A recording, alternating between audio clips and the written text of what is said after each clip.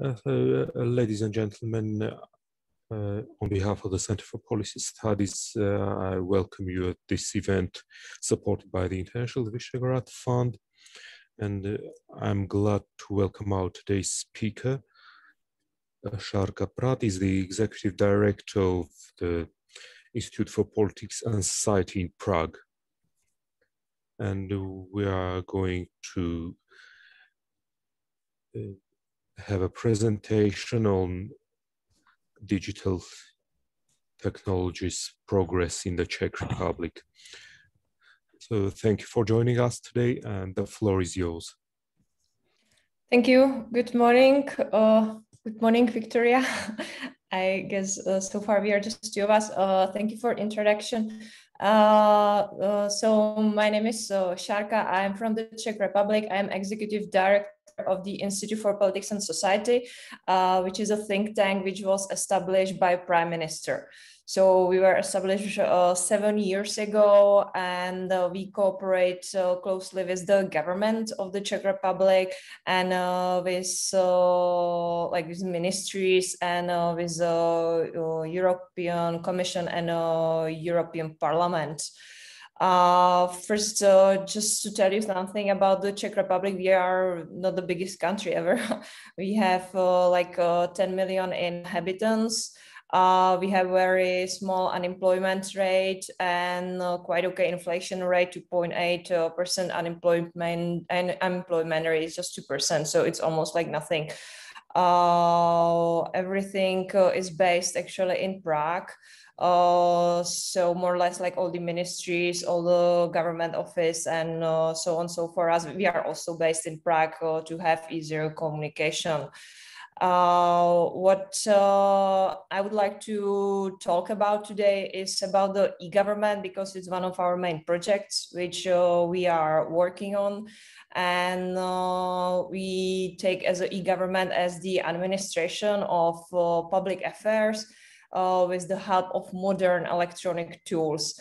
Uh, which will make public administration more user-friendly, accessible, and efficient, and of course faster and uh, cheaper. Uh, we see as e-government as a possibility for citizens to carry out their administrative procedures uh, via the internet, uh, whether it's a question of paying their taxes or registering their vehicle or managing benefits or medical files or even voting.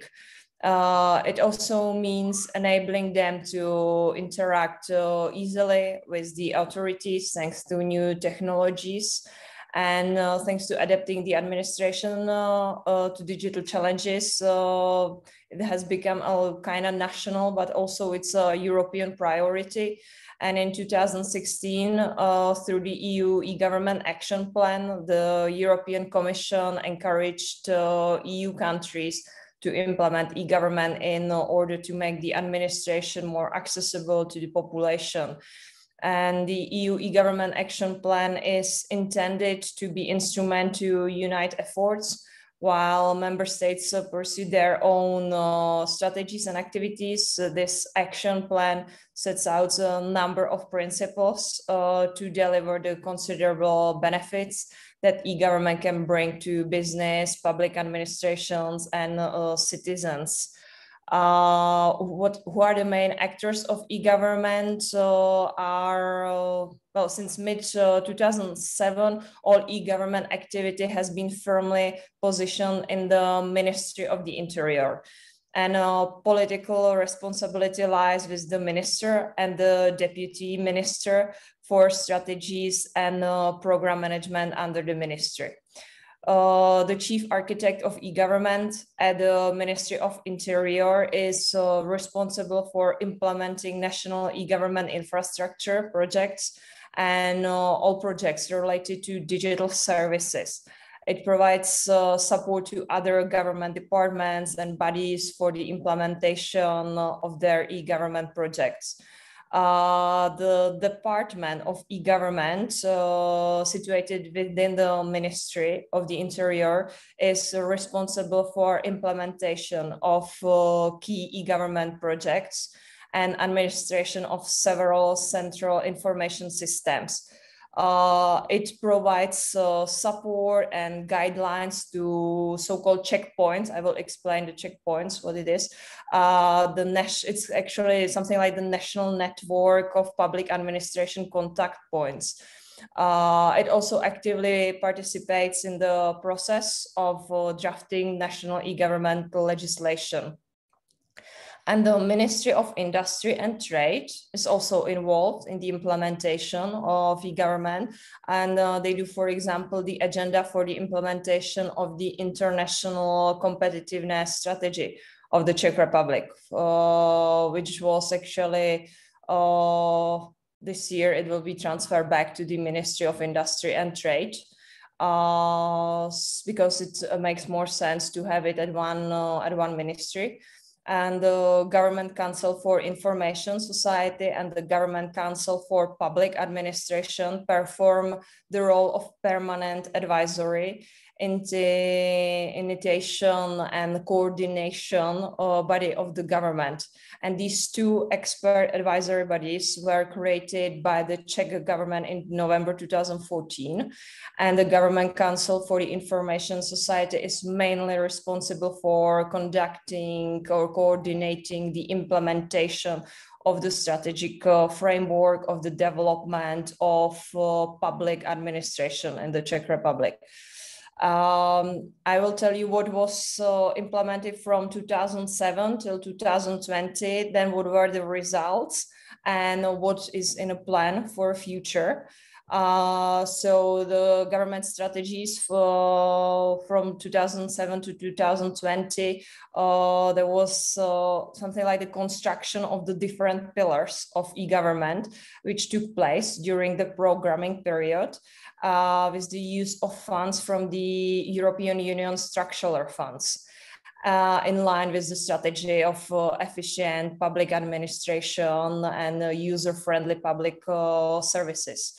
And from 2011, many initiatives and strategies are gradually being created by the Czech government uh, to enable citizens uh, to communicate electronically with the administration. Uh, in 2011, the Ministry of Industry and Trade uh, presented the International Competitiveness Strategy. Uh, this document was the Czech Republic's overall, let's say, digital plan, and it contains uh, and sets out the initiatives and targets uh, that relate to e-government and uh, ICT modernization of the public sector. And the subtitle of the strategy is like back to top we call it back to top uh, characterizes the government's intention to become by 2020 one of the 20 most competitive countries in the world. We will see then the result how we did uh, in 2013, uh, the state policy on electronic communications has been adopted. So it's called like digital Czech uh, versus 2.0, the way to the digital economy. And uh, this uh, updated state policy is based on three pillars. Uh, on the promotion of the development of high quality infrastructure, the further expansion of digital services, and uh, fostering digital literacy. Uh, the main objective of the policy is to harness uh, the potential of the Czech Republic and to develop uh, modern information and communication technologies and services. In compliance with the digital agent agenda of the EU, the government has set the target of achieving universal high-speed internet access for the population of the Czech Republic. In 2014, the strategic framework of the development of public administration in the Czech Republic was approved by the government resolution. And uh, this strategy for the development of public administration formulated four objectives to be specified by the government council and achieved within the six year period and the specified priorities cover the modernization of public administration, which included development of e-government, in particular the implementation of a unified and state guaranteed and EU interoperable online identification. Uh, also, there is an authentication and authorization system for the key information uh, in accordance with the regulation. Uh, then we have the National Architecture Plan and the National Architecture Framework, uh, which are being prepared as a part of the national e-government architecture. And it aims uh, streamline uh, the work of public authorities through information technology. And the objective is to prepare the initial state of the Czech e-government with its development plan within five years. Uh, in 2016, uh, the strategy of electronization of public procurement uh, was a conceptual document of the government of the Czech Republic for the introduction of information and communication technologies into public procurement. And it covers uh, public procurement systems, uh, which are managed by the Ministry of Regional Development of the Czech Republic, uh, for example, like electronic public marketplaces or the National Electronic Instrument and the Public Procurement Information System. What's very interesting uh, was the, or according to me, it's very important, the National e-health strategy, which was implemented in 2016, uh, which must benefit patients and the quality of healthcare and the patient's right to adequate care, the protection of personal dignity, and the protection of personal data must not be weakened, but rather strengthened by the introduction of e-health resources. Uh, one of the main principles of the national e-health strategy is the openness and uh, participation of the widest possible professional and non-professional public among the users of e-health and the Ministry of Health states uh, the clear intention to create a familiar environment for all those responsible for the implementation of e-health service. I will then tell you the exact points which they introduce, the exact tools, because they are very interesting. In 2018, a strategy called Digital Czech Republic was launched by the government uh, to focus on the strategy of coordinated and comprehensive digitalization on the Czech Republic. And uh, this consists of a set of concepts that ensure the long-term prosperity of the Czech Republic in the environment of the ongoing digital revolution. Uh, the strategy consists of the higher level objectives uh, of three partial strategies. One of them is uh, interaction of the Czech Republic in the European Union in the field of digital agenda. And uh, it uh, talks about the institutional provision of coordination and financing of the implementation and uh, ensuring communication on uh, current topics and opportunities in the digital agenda. And uh, then uh, the second one is digital public administration uh, which has to be user friendly and efficient uh, online services for citizens and business people. Uh, digitally friendly legislation, developing an overall environment uh, conducive to, uh, to digital technology, and efficient and centrally coordinated ICT for public administration. And the third one is the preparation and interaction of the society and economy of the Czech Republic for the consumption of digitalization.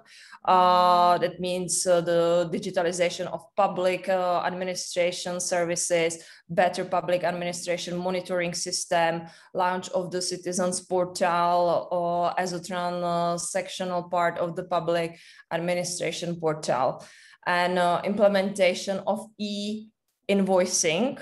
And uh, for example, what's very important, what we use a lot is cross-border electronic identification and uh, now implementation of ongoing e-health. And uh, the main objectives of the program is to strengthen all the initiatives and projects. Uh, I'm sorry, my dog just came here. I have to kick him out. Uh, called for in previous government, yeah, call for like previous government strategies. and uh, we have a lot of legislations uh, which were introduced uh, And uh, I will just briefly mention uh, that uh, they provide a legal framework for the establishment of e-government in the Czech Republic. And these legal documents uh, regulate the following areas, for example, access to public information and uh, electronic identification and uh, trust services or security aspects related to digital government, and uh, interconnection of basic registers and online public uh, procurement. Um, and uh, now what I think what is uh, probably the most interesting to see are our digital tools for citizens. Uh, we use a lot of platforms and uh, actually the various strategies uh, adopted by the Czech Republic allow for the gradual introduction of digital tools uh, to ensure the country's transition to the digital age. And uh, several objectives have been set by different government strategies. And some of these goals have been achieved but others need more time. Uh, we will see which ones. Uh, and there are different platforms which make it easier for citizens to communicate with the administration. In uh, 2008, uh, the public administration contact points, so-called Czech POINT, uh, were created and uh, they can be considered as a central government initiative.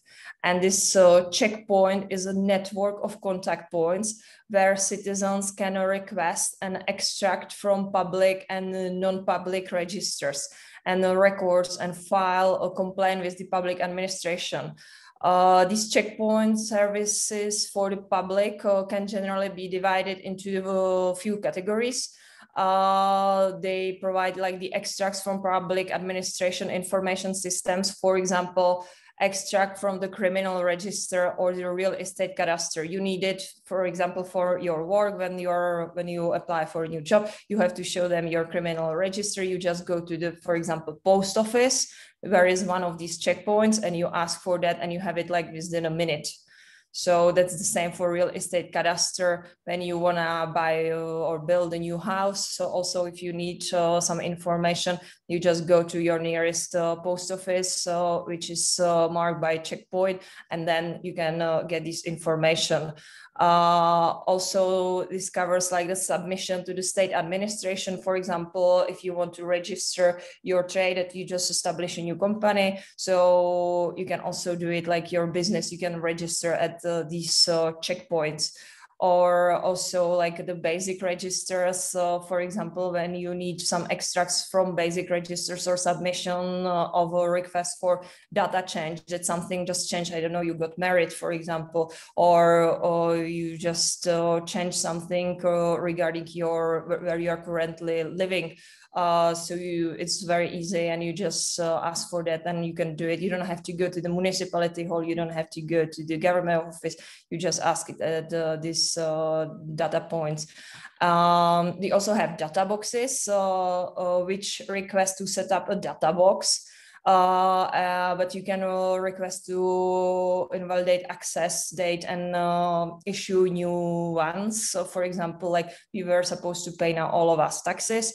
And if I have this uh, data box, I can do it everything like online quickly. It's very initiative and I don't have to go to the any like building. I don't have to like fill in any forms because I can just submit it online.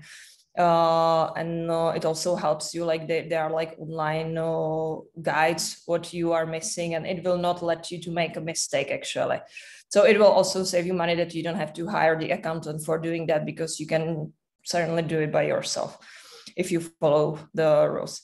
Um, these services are provided by public administration contact points, uh, which bear the blue Czech POINT logo.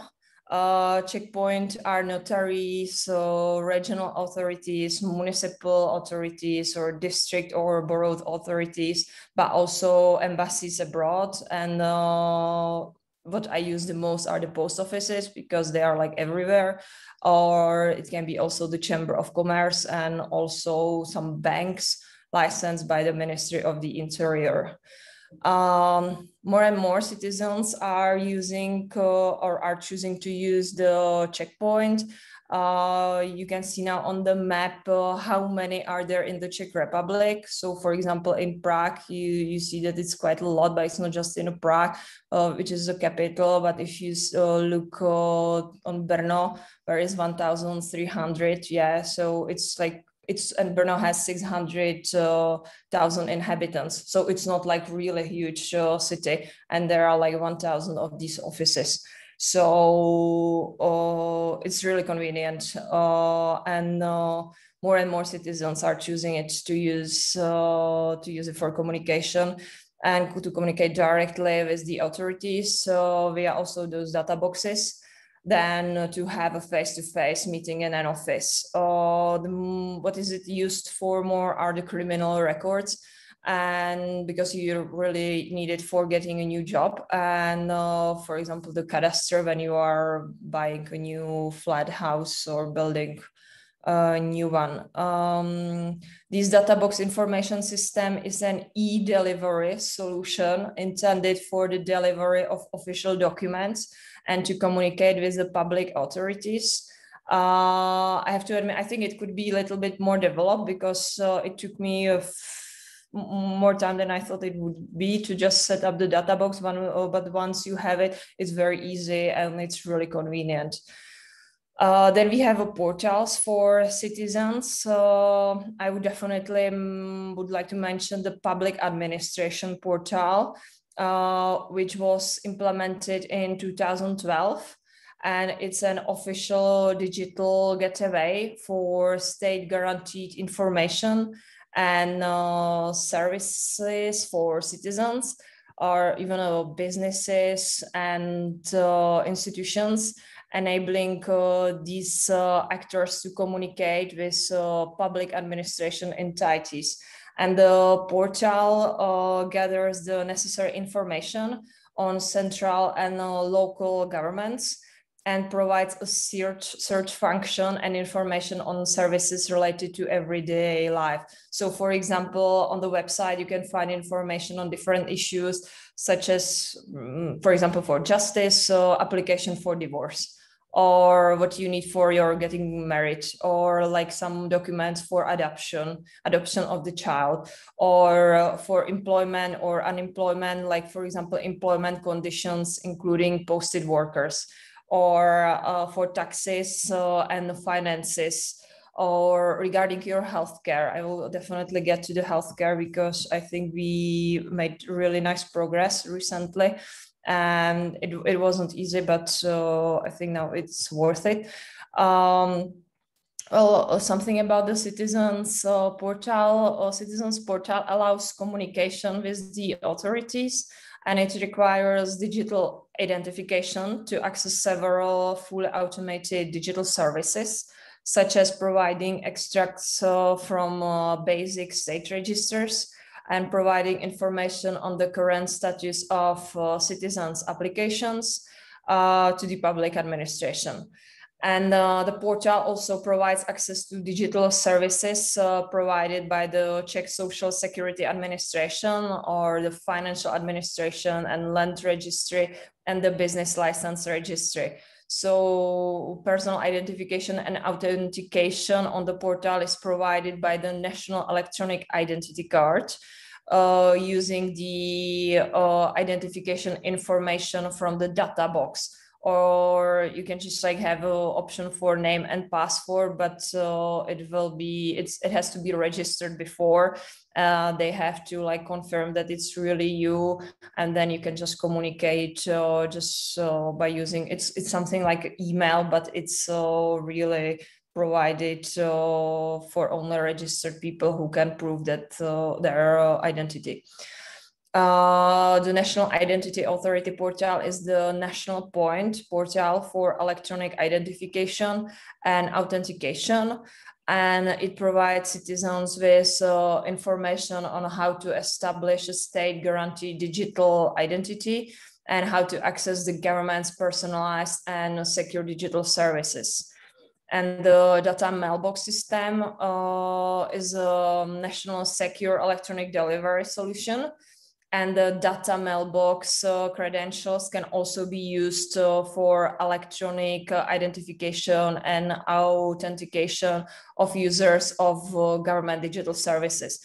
In 2019, there were new features uh, which were added to the system, uh, including mobile access. So now you have like kind of mobile key uh, or it's like an app on your phone and uh, you can confirm everything through. It's like when you do like your mm, bank with something with your bank account when you are sending the payments. Uh, the Czech Social Security Administration uh, allows citizens and employers to access information stored in the administration databases and send requests online and uh, receive answers digitally.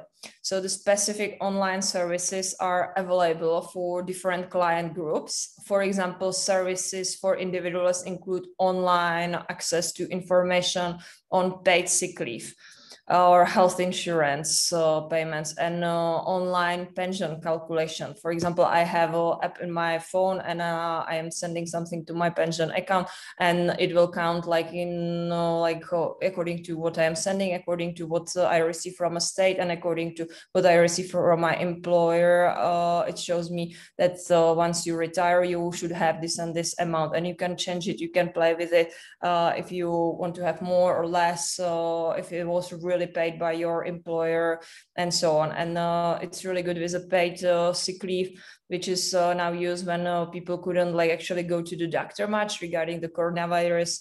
Uh, they could communicate also with the doctor just uh, online. I will talk about it a little bit more. then we have the e-tax portal of the Czech Financial Administration, uh, which provides access to the necessary information on the national tax system and the corresponding electronic forms. And the application uh, electronic submission to the financial administration allows to file tax returns and other documents electronically. And the VAT payers register application allows checking the reliability of VAT payers and the registered bank accounts of VAT payers by tax identification number.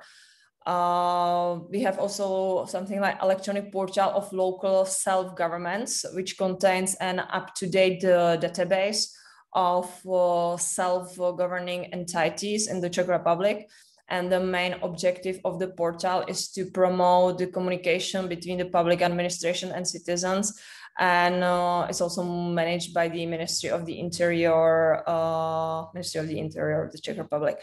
Um, what I would uh, definitely like to mention is the yeah here you can see just some like examples how it uh, looks like logging into the citizens portal. It's called like citizens portal.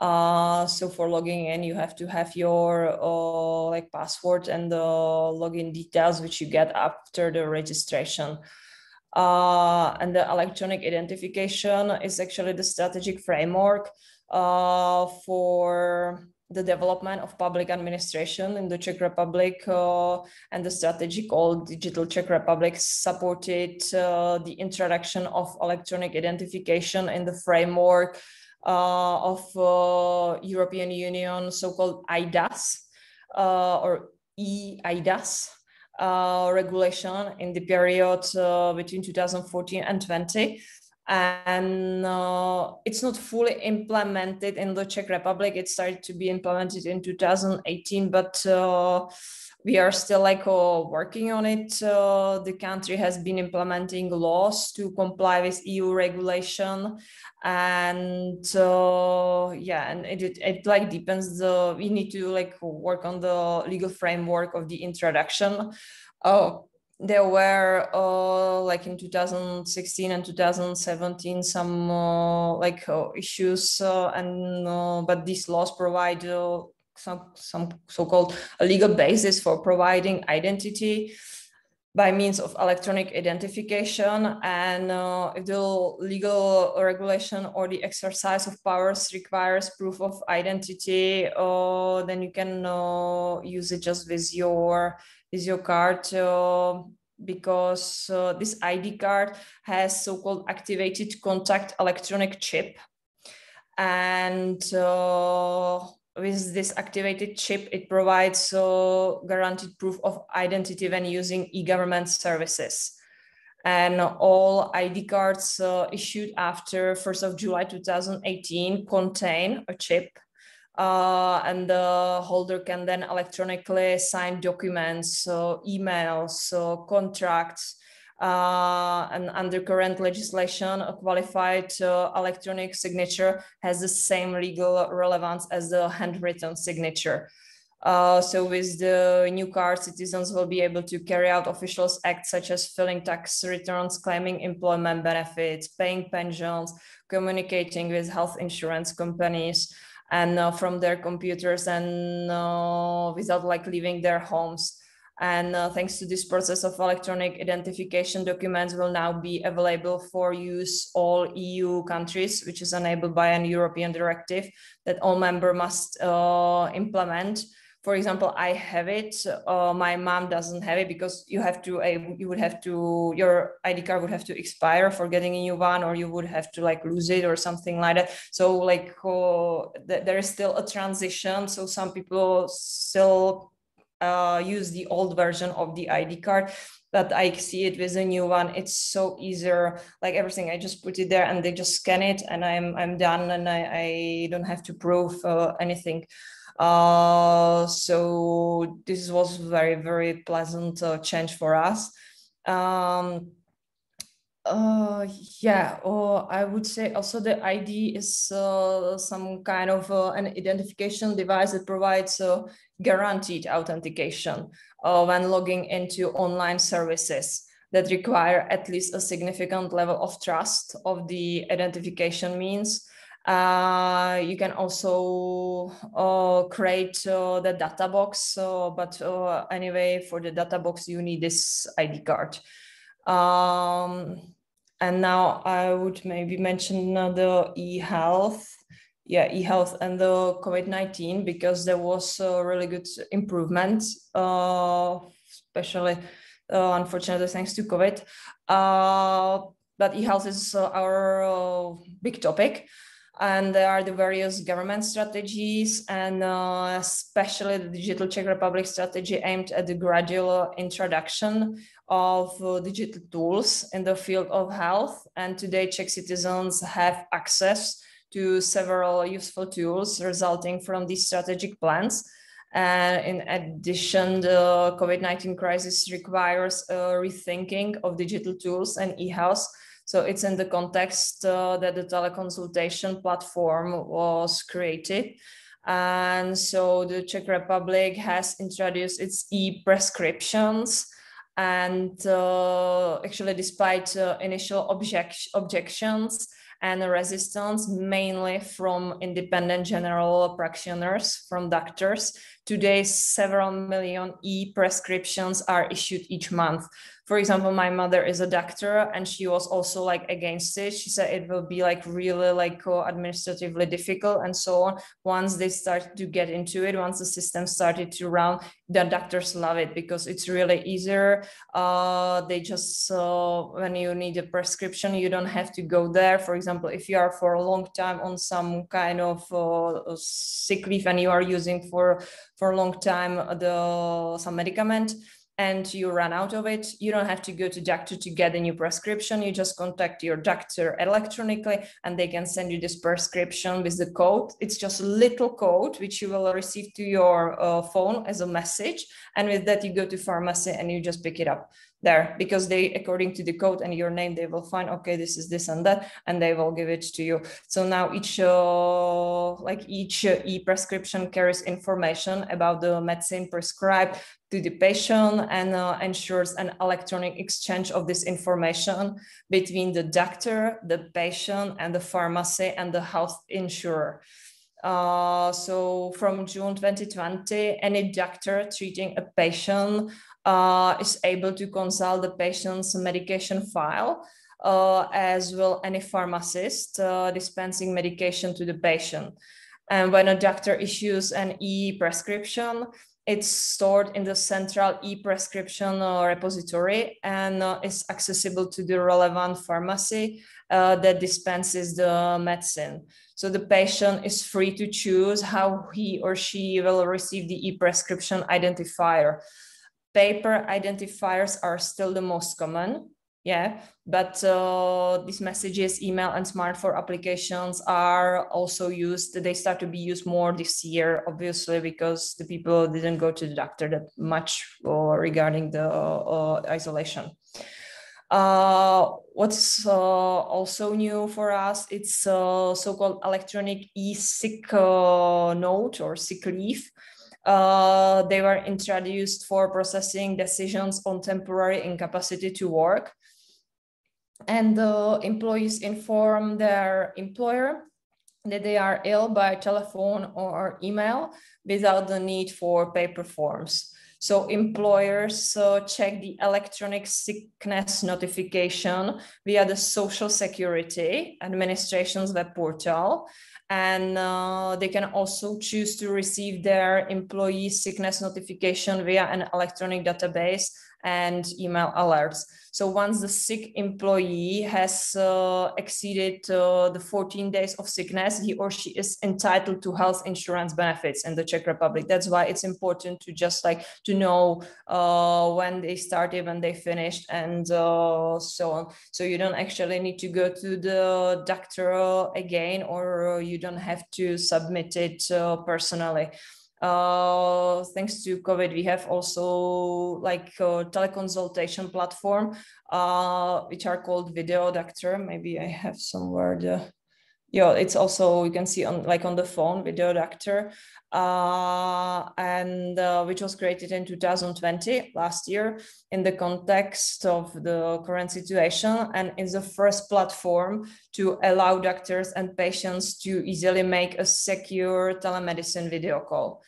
and uh, the service is free of charge for doctors and patients and the patient must uh, first register and can then request a video call with the doctor uh, not all doctors use it so far. So it because it's new it's like 2020 um, and uh, uh, of course, it's easier for patients to communicate with the doctor online because uh, he doesn't have to go there. But it can be also, I think, a little bit uh, used too much. So not all doctors want to use it but i think that they need time to get used to it. For some of them love it some of them are still a little bit skeptic uh so and so how did we do in uh, in our like uh, european ranking of the czech republic um we thanks to all this introduction of digital tools uh, so in 2011, the Ministry of Industry and Trade uh, presented the international competitiveness. Uh, so you can see on the slide uh, how did we did the ranking among the countries of uh, European Union. There is still Great Britain because it was for 2020, and we see that somewhere we did well, somewhere we did not. Uh, the ministry wanted to make the Czech Republic one of the 20 most competitive countries in the world by 2020. And in 2020, the European Commission revealed the Digital Economy and Society, Society Index, which monitors Europe, Europe's uh, overall digital performance and tracks the progress of uh, EU countries in digital competitiveness. And the Czech Republic is ranked 17th out of 28 European countries. Uh, so interpreting these data, it becomes clear that the lar- that some targets uh, haven't been fully achieved, and uh, further measures need to be put in place.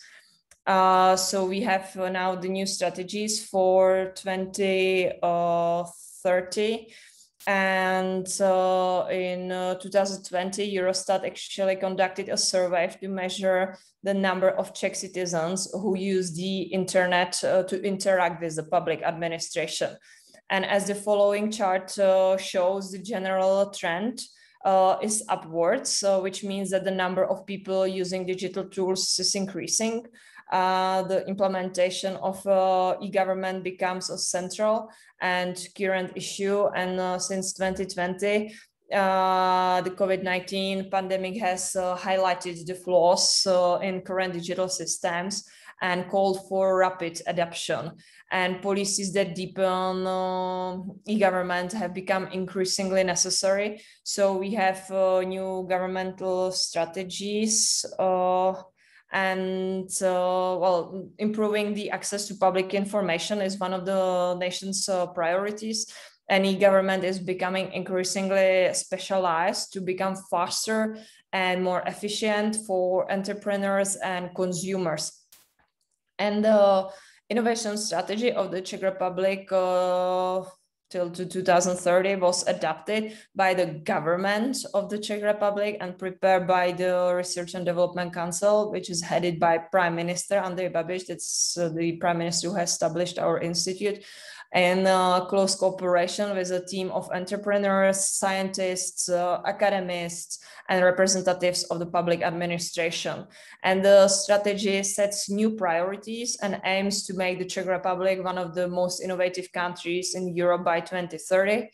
Uh, and in addition to initiatives uh, focused on digital government and services, the strategy includes eight other strategic pillars, namely research and development funding and evaluation, uh, polytechnic education, uh, national environment for startups and spin-offs, uh, innovation and research centers and smart investment, uh, intellectual property protection, uh, mobility and construction environment and smart marketing.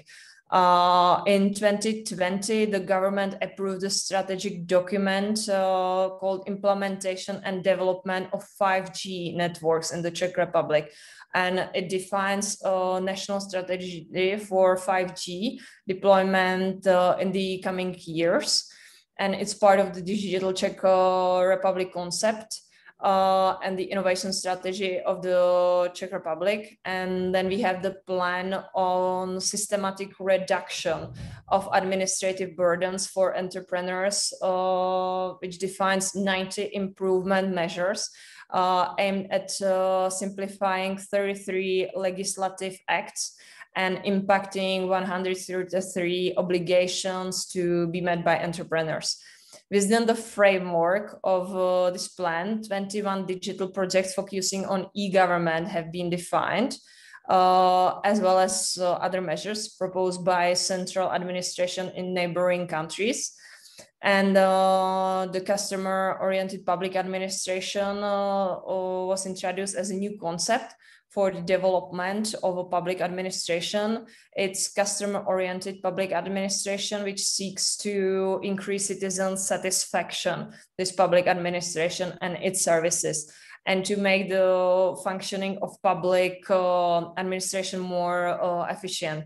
So to achieve this goal, the strategy uses a wide range of tools uh, for example, reorganization of the public administration on the territory or better communication with citizens, better horizontal coordination of the public administration, or there are more emphasis on supporting innovations. And uh, there were some changes in legislation.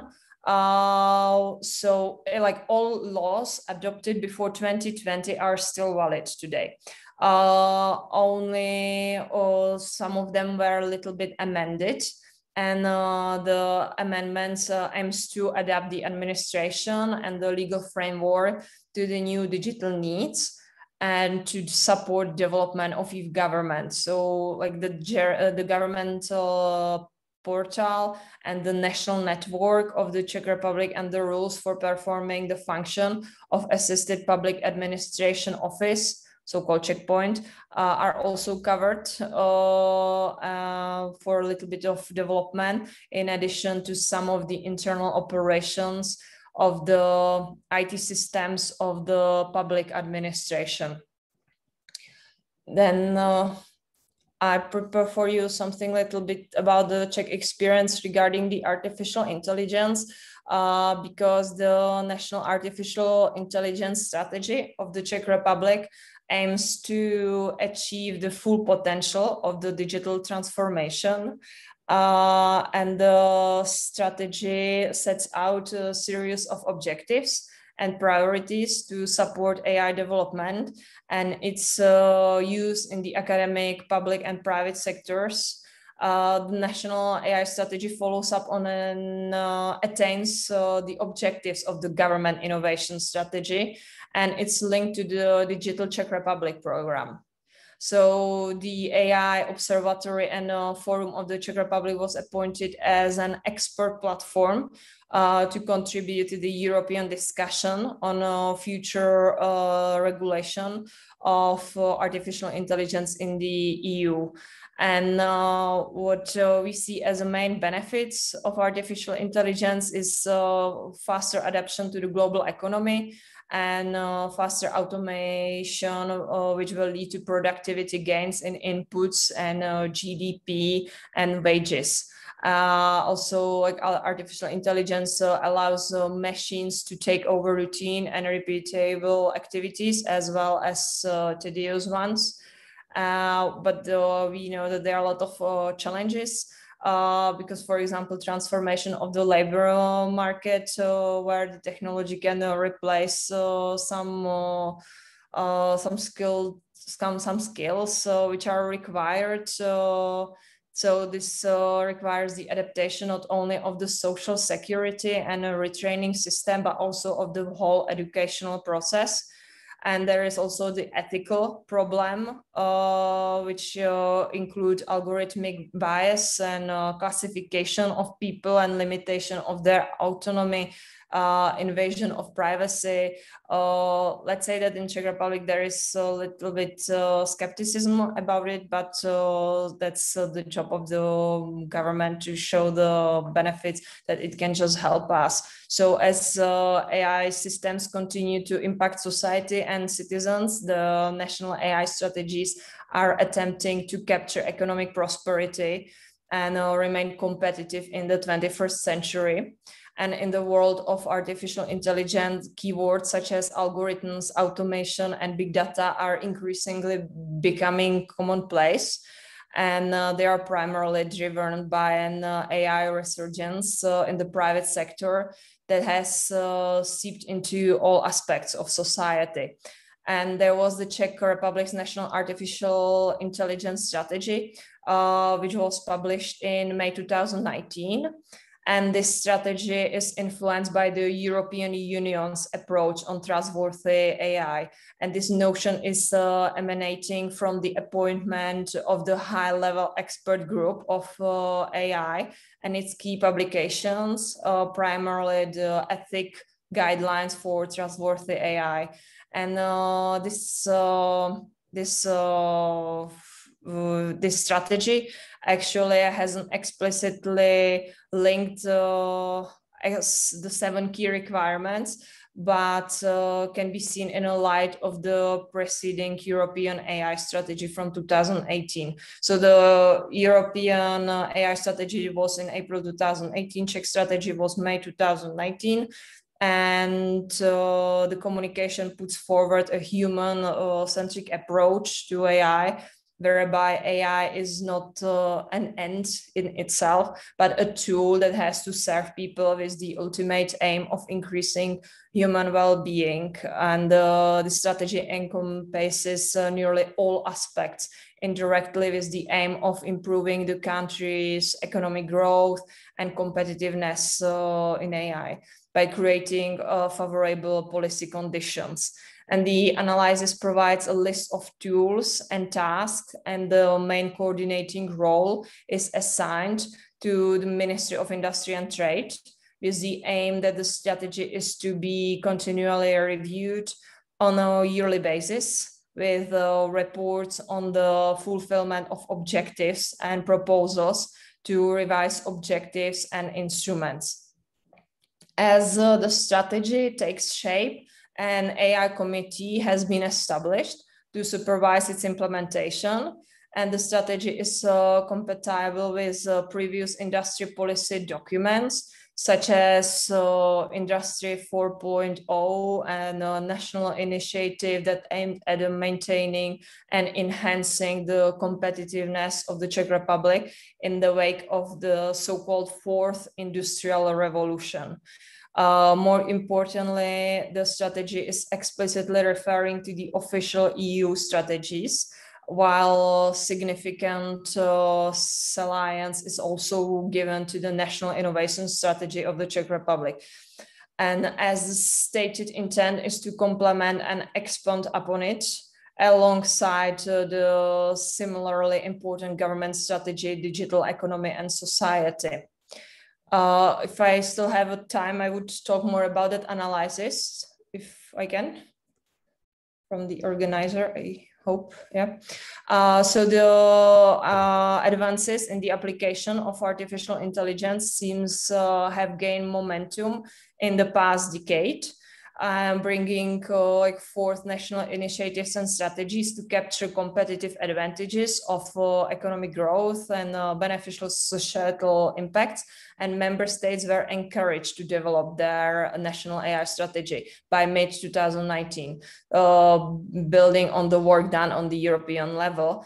Uh, so the European strategy on artificial intelligence uh, is uh, led or is composed of appointed experts and uh, for to, to present recommendations on future related policy developments and on ethical, legal, and uh, social issues related to AI, including socio-economic challenges and the ethic guidelines for trustworthy AI were published uh, in April 2019, along uh, with 33 proposed policy and investment recommendations for trustworthy AI. And these documents uh, were addressed to European Union institutions and member states and were published in June 2019. So additional emphasis uh, on building an ecosystem of trust appeared in the Commission's white paper on artificial intelligence, which was published in February 2020.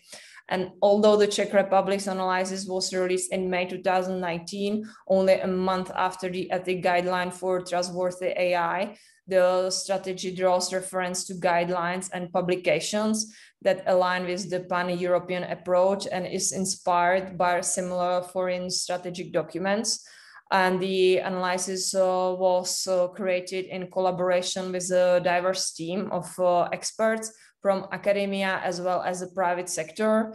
And uh, among them are representatives of ministries, institutions, and experts uh, from the Academy of Science of the Czech Republic, and the stated goal is for the government and uh, public and private sectors to coordinate closely as uh, artificial intelligence systems improve while meeting the objectives of the government innovation uh, strategy uh, which was introduced and the AI committee that is assigned through the uh, strategy is intended to be a subcommittee of the steering uh, committee of digital czech republic strategy so again it's under the all the digital concept uh, which is chaired by the deputy minister of industry and trade for digitization and innovation. We, we closely cooperate with this guy. His name is Petr Očko, and uh, he's really, oh, really passionate about that, and he works hard on this topic.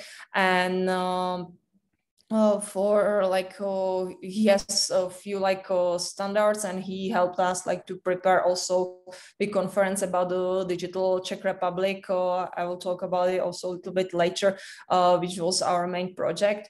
And uh, well for some of the seven different strands of ai policy that the report outlines other government departments are recruited to act as coordinating members and it's uh, the Ministry of Education, the Ministry of Labor and Social Affairs, the Office of the Government uh, of the Czech Republic, and it's through this uh, newly established AI committee that uh, the responsible ministers, so the Deputy Prime Minister and the Ministry of Industry and Trade, are implementing and coordinating the strategy as a whole. So the operational management of the AI committee will be continuously ensured by its executive committee. And uh, the strategy is divided into seven chapters, and its key areas are research and development, so financing, industry, human capital, education, regulation, and international cooperation. And for each chapter, the strategy stipulates a responsible ministry as coordinator, uh, baseline providing the current state, the policy initiatives that will be developed, the cooperating entities, uh, tools, and methodology, and the key objectives that are targeted at a short uh, term uh, short term is like till 2021 or mid-term is like 2027 and there are some key uh, proposals or key objectives for long term until 2035 and the strategy also presents results from an empirical mapping of the industrial landscape intended to ground the report in actual data and uh, knowledge from practice. Uh, hence, uh, the annex includes uh, the results from a survey that was conducted among organizations and companies engaged in AI activities in both academia and private sector. And this survey was led by the Confederation of Industry, uh, who are responsible for making the initial evaluations of the corporate AI environment.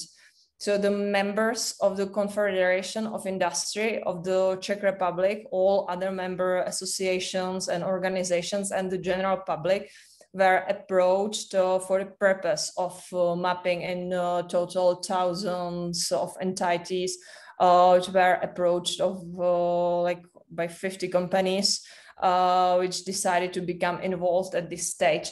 And this quantitative mapping uh, gives uh, indicative data on the applications and development areas of AI, methods used in AI, and the sectors of integration of AI, uh, and the distribution across various industries in the Czech Republic.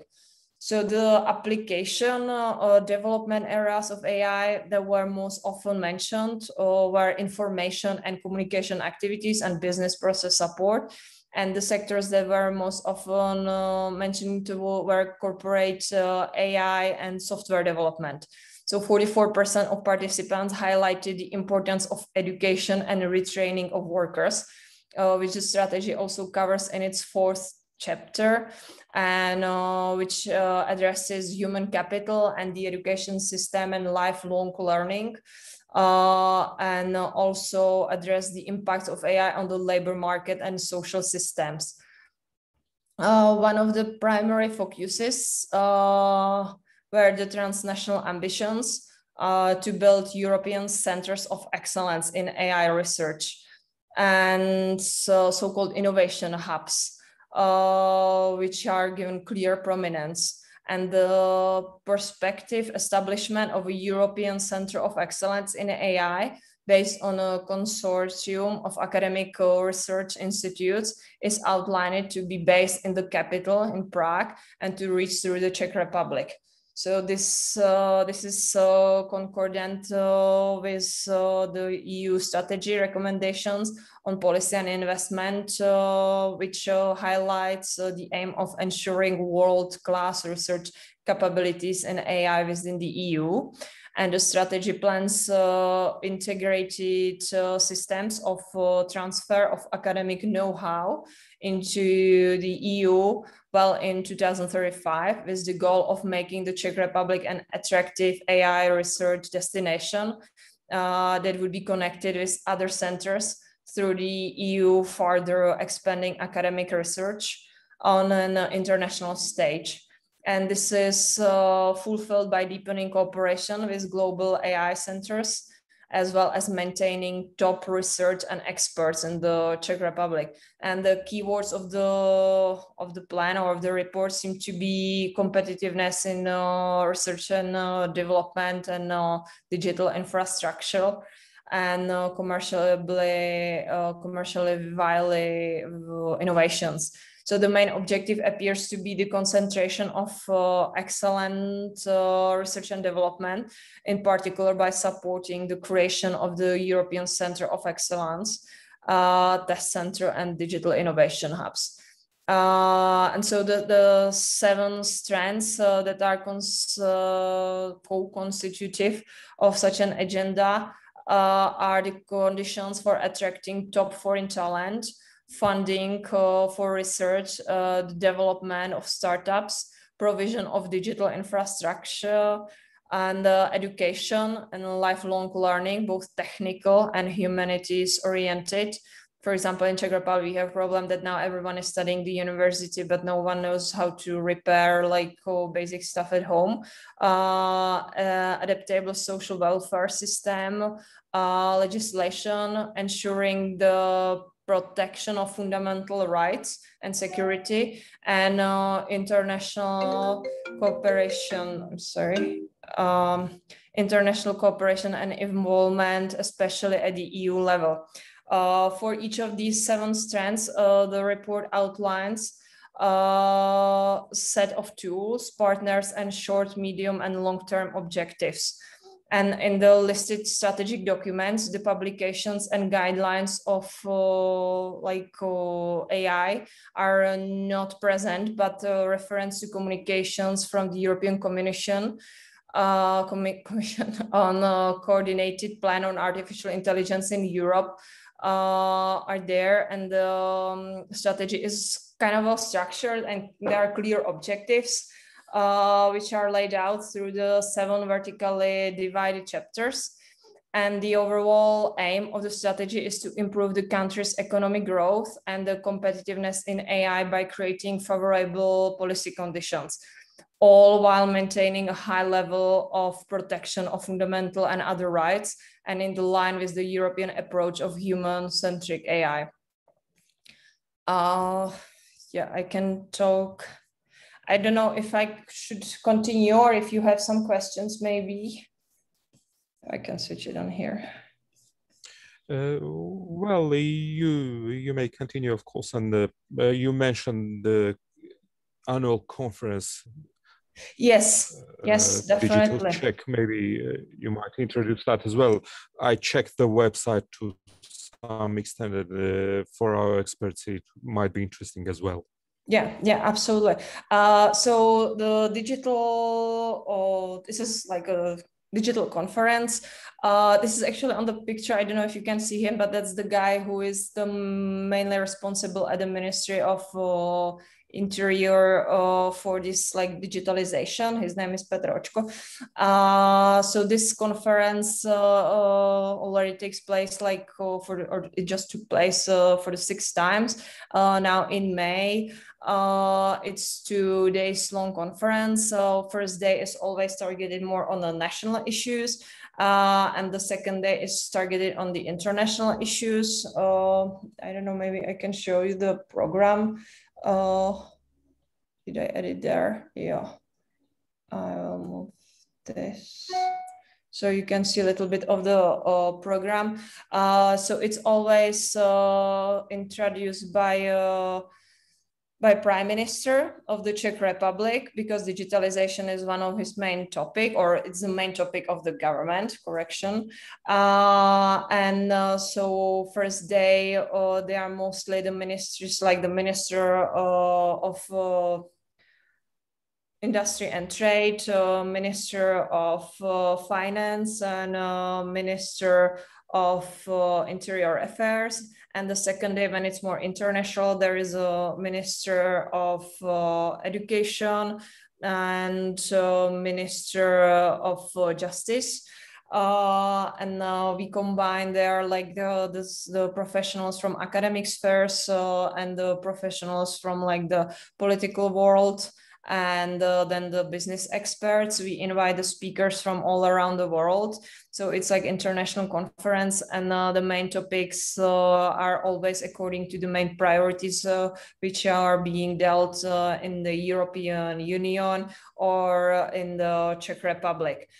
So mm, maybe i don't know if we have this in you can see something like that. Yeah, but I would just a second. I will try to switch this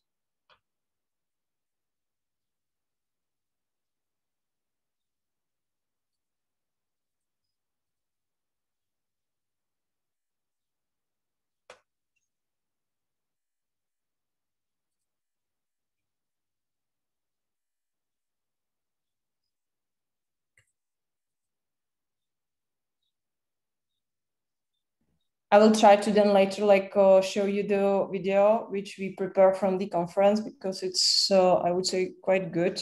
And uh, so our main topics is about the e-finance, about the competitiveness, about the educations, about the e-government, uh, and uh, about uh, the artificial intelligence, or sometimes also the security because it's connected to the artificial intelligence. And um, there are usually the uh, ministers they uh, introduce their, their plan for next year what they are going to do regarding the digitalization in their own field yeah and uh, they discuss it with the economists or with the academics uh, and then after uh, always uh, next year then we just like gather the informations together and we can see what czech republic achieved and what uh, they did not what they still have to work on. And so yeah and if there was some kind of uh, progress towards being more digital so I am really it's really pity that I can really uh send I can't really show it to you because that would be nice. I'll try this. Um, digital Czech Republic yeah these are like we always record everything from the from the video so or from the conference. So that's uh yeah. Uh i will try one more thing. So then uh, also the people it's uh, possible to attend it uh, personally like physically or uh, online uh, of course, now we had to do everything online because it wasn't that uh, uh, easy. Yeah, I can play it right now, so try it.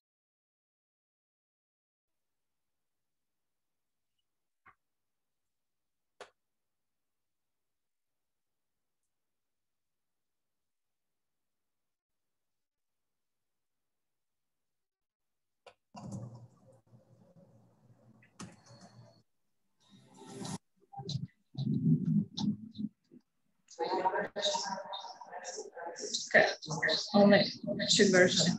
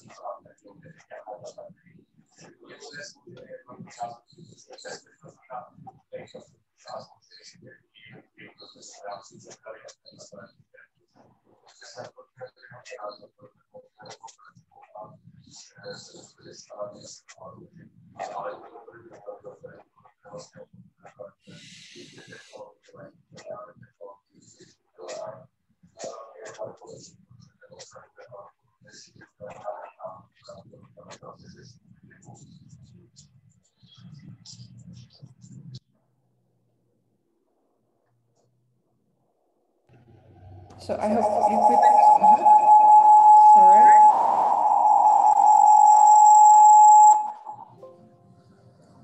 Can you hear me now? So I hope you could hear the voice as well. Was it possible? Not. Well, so uh, so this was our concept of the digital challenge which we uh, work on every year, and then we have like their uh, like uh, what we actually captured so we can actually compare it to literally what was said and what was uh, accomplished as i said so, so this is uh, sorry uh, there is some echo now maybe the second microphone the government is, is a european commission there is always at least one or two commissioners we had there also the uh, Commission. Seems you have two microphones turned, on, turned on, so there is an echo. Aha, there is an echo. Okay. Uh, I think anyway, I can just disconnect this because uh, I'm not, I have nothing else to present. Do you hear me now? Yes. Uh, yes. Super, sorry. Sorry, sorry. Yes. So, so this was uh, th this project is uh, closely cooperated uh, or we closely cooperate uh, on it with the government, with the European Commission, and uh, with the Parliament and with the ministries. We uh, always have support of a Ministry of Industry, Ministry of Interior Affairs, and Minister of Education and Minister of Finance. Every year they are there. Every year they just like support it and they present their main topics. And uh, two years ago we had there like Euro Commissioner Vestager, which was uh, very nice because uh, the conference was also supported by uh, Google and the commissioner was just about to like fight against uh, Google, and uh, so there was so nice, uh, let's say, exchange of the views there, and uh, it had a good impact. So it's it's also followed by oh oh, fifteen thousand uh, people. Uh, who cannot, of course, in physically, physically it's like for, for 500 people, but like uh, then it's watched by 15,000 people uh, online.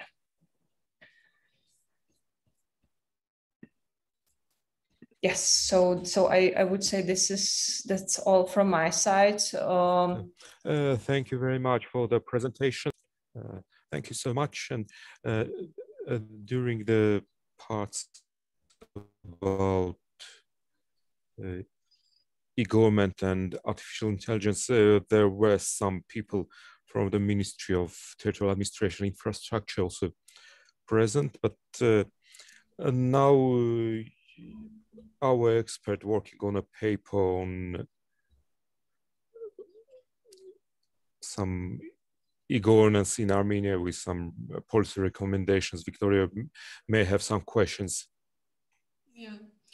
Uh, thank you, Armen. Uh, thank you, uh, Ms. Prát. Uh, it was such an informative and enjoyable presentation, and it made me to formulate a set of questions which I'm sure that uh, will comprehensively uh, allow me to digest your experience because it was very rich and let's say it can easily serve as an indicator for us to implement uh, new types of uh, reforms and changes in the system of our um, electoral governance.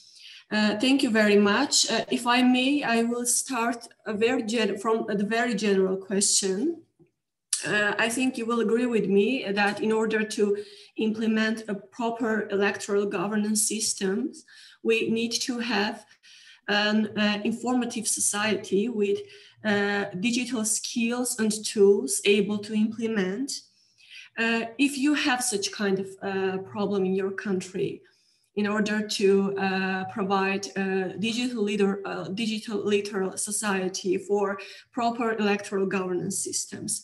How uh, and which are your uh, tactics and strategies to overcome this problem and formulate a real digital, literal, uh, modern, informative society to be able to implement uh, these e-tools in your country? Thank you. Mm-hmm. So, for example, yeah, we, we have the same problem. It's of course easier with a younger generation because they are like used to have uh, their uh, laptop all the time. It's uh, harder with the uh, the older generation. What uh, government actually offers now is uh, they are free free uh, so-called IT uh, sessions or courses. So for uh, elderly people and um, so they can actually ask they are like the advertisement uh, in the city that uh, if you want to learn a little bit more about uh, how to use the laptop how to communicate digitally you can attend these lessons. So they are for free. You don't even have to have your own laptop because they provide you that because it's some kind of let's say school or like the, mm, the room with a few computers and uh, there is a tutor uh, which uh, expects uh, the people to be older so he knows that he has to take it like from the basic steps. And uh, you can attend it uh, and it's not limited that you can just attend it once. If you didn't understand it you can retake it. For example my grandfather went through it twice yeah and he really enjoyed it. And my grandfather is 87 years old and yesterday he was paying like uh, he's constantly sending some emails. Yesterday he was uh, uh, doing something with internet banking and everything. So it was really convenient for him especially for this time because he had some problem with the bank. And he said i will have to go there but the banks are closed. I said like no but you know that you don't have to go there. And i showed him and he said oh yeah i remember and he knew everything and it's like super active. And for 87 years old it's like like excellent. He also like uses thanks to this uh, training. He uses uh, WhatsApp. Uh, he knows how to like use the ID identification like system for uh, this e-government. So now I would say he actually uses it more than I do. Uh, okay, thank you. And what about um, uh, some statistics related to the usage of uh, e-tools in regions of Czech Republic and in the capital?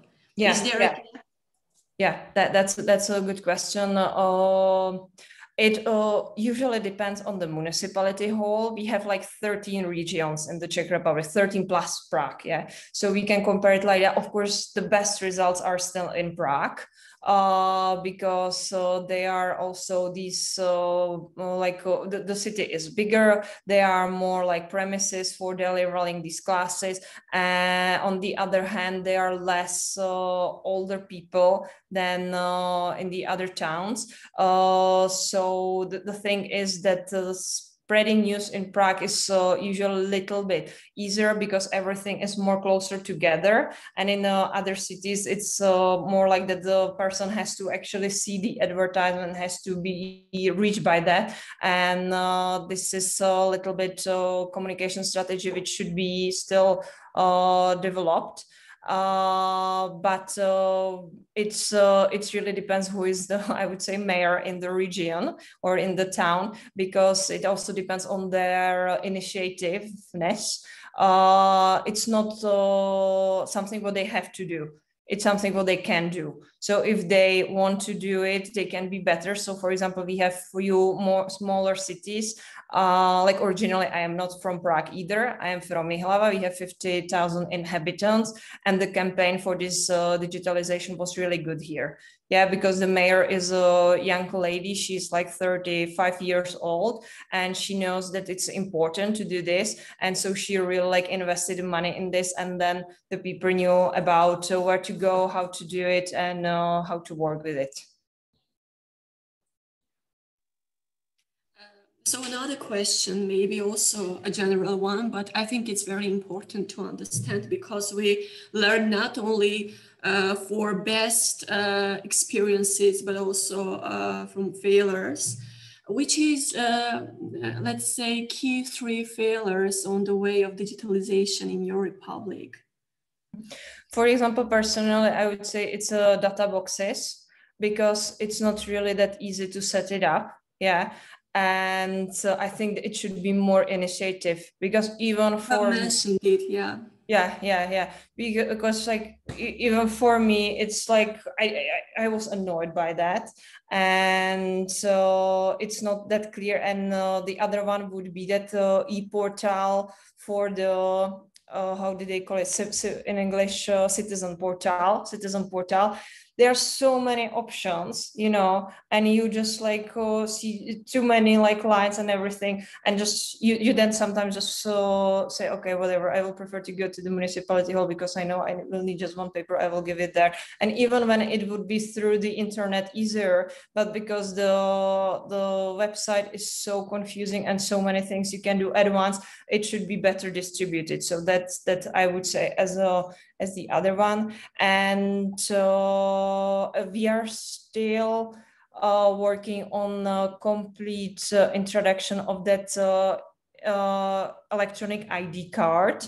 As I said, that it's still in the process because of some legal issues, and uh, it's uh, different because it's not that it is easy to change it, yes, of course, but some people just are not uh, trustworthy.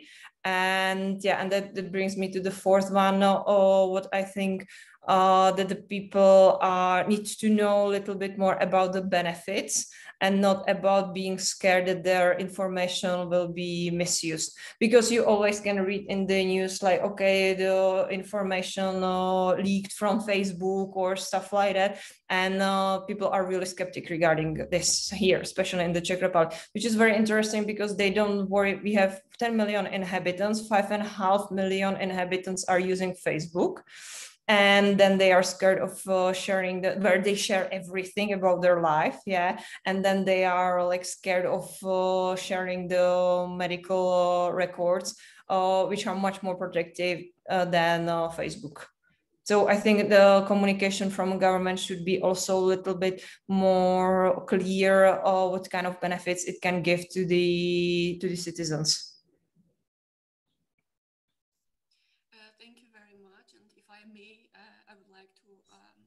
sorry i am not to yeah. another uh, uh, to another questions if i may of course. Sure. Oh thank you very much. Uh, i'm very interested in um, let's say in uh, covid-19 situation because uh, you also mentioned about that that due to covid uh, we we have noticed significant let's say peaks in uh, the process of digitalization.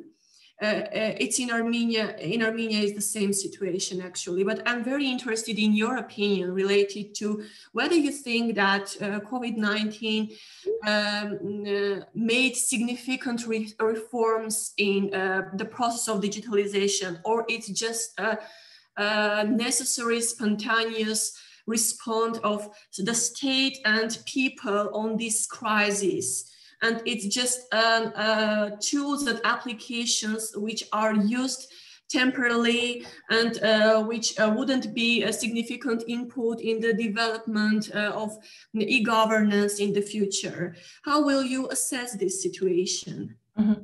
Uh, I wouldn't say that it was spontaneous here because we knew that it was coming for example, e-prescriptions or these e-sick leaves, and the COVID-19 just speeded up.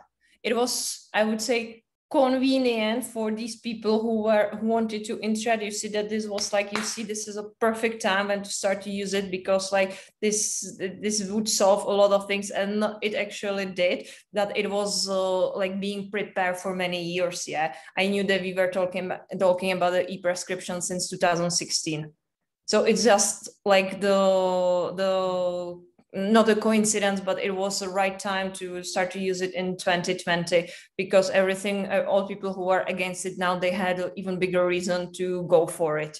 So this is uh, the transformation isn't that easy from like one day to another or even one year to another, but it was a systematic uh, preparation and there was a strategy and there was a plan and uh, the situation helped to use some tools earlier than the others.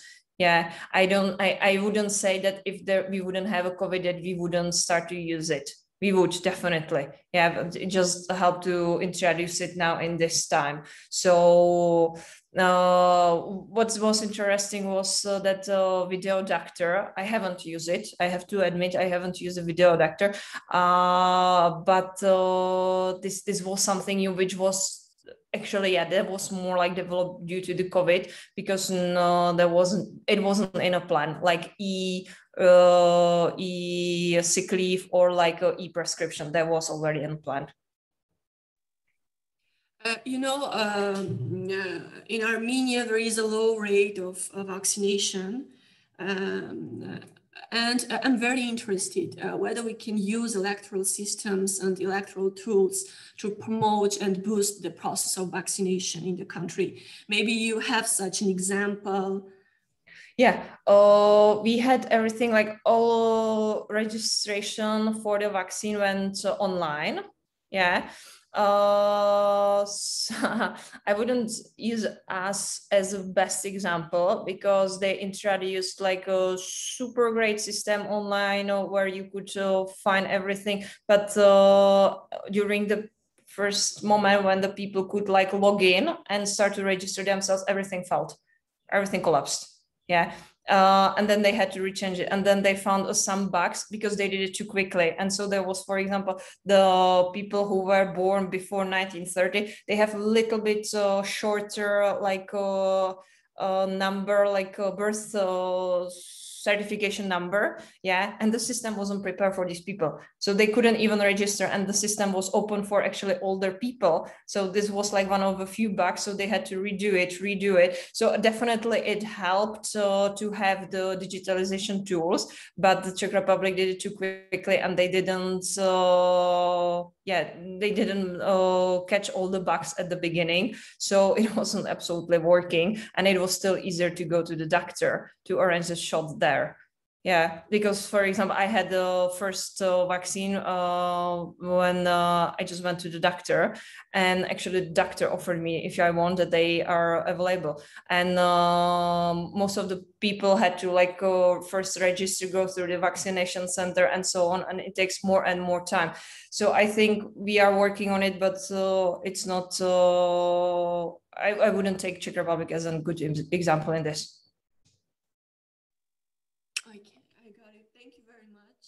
That's all for me. Uh, thank you for such an info.